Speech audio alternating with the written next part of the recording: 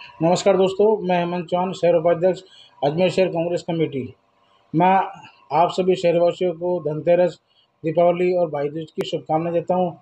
माँ लक्ष्मी जी से प्रार्थना करता हूँ कि ये जो त्यौहार है सभी के लिए मंगलमय हो। हार्दिक अभिनंदन।